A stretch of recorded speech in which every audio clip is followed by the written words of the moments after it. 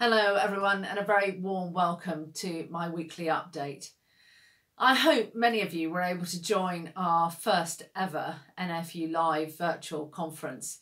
Uh, we had over 3,000 people on the call, which was just great to see, and, and over 600 questions, for which I can only apologise that I didn't get through more. It, it is a real challenge trying to pick the questions up off of the screen and sort of consolidate them and obviously having to paraphrase quite a bit as well.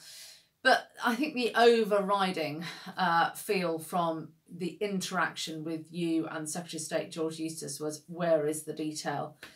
I think many people are feeling that this has been a long, tough winter. They always are, but I think this one has been more pressing than many others and the lack of detail on the future policy, I, I, think, is really grinding many people down, along with uncertainty in other areas, and of course, living with COVID and lockdown, many people having to deal with with online learning, uh, which indeed I am trying to constantly encourage my teenage children to stick at it. So it's it's been a tough year, and I cannot urge the Secretary of State to get that detail out as, as soon as possible. Then, of course, we moved on uh, to Liz Truss, who um, had technical issues in, in London and, of course, was late joining, so that cut her time down a bit.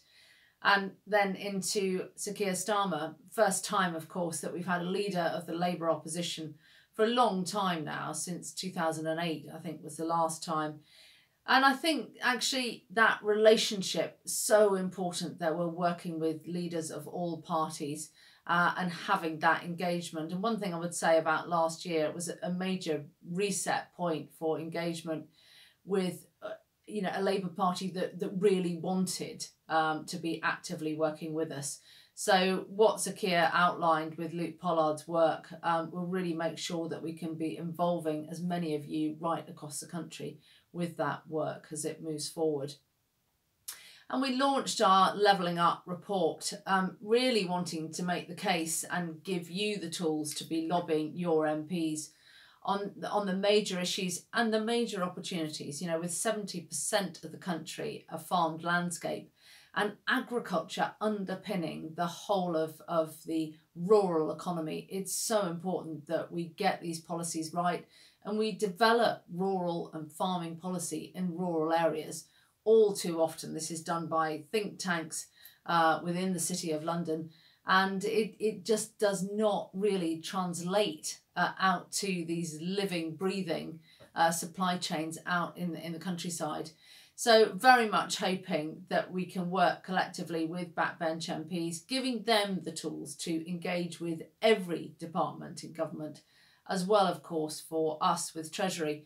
Um, looking towards next week, obviously it's it's a big week. It's the budget, and it'll be very interesting to see what the chancellor has to uh, outline with his thoughts. Major challenges I know going ahead uh, for the economy. Uh, many uh, members that I speak to, it's been absolutely savage on farm diversification.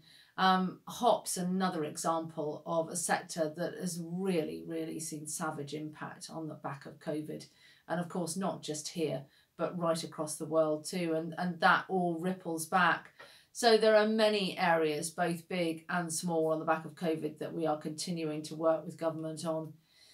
But a whirlwind trip through. I'm always uh, relieved when conference is over. It, it's a big time for us um, I'm really hoping now that the commodity sessions can set up that engagement with you to outline what they are doing on your behalf. So it was a, a different conference, but I think we got a great political lineup and fantastic to have so many of you engaging with us. And I just look forward as April looks to an easement of the way of working and getting in front of people. I just look forward to 2021 more than anything about being able to get back in front of you, our members. But in the meantime, as always, please do take care, look after yourselves, and I so look forward to speaking to you again next week. Many thanks.